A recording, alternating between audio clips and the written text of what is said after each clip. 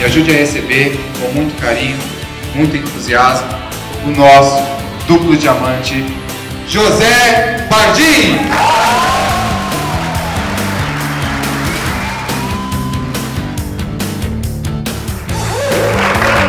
Boa tarde! Boa tarde! Tem gente que falou boa tarde. Bom dia! Bom dia! Como é que vocês se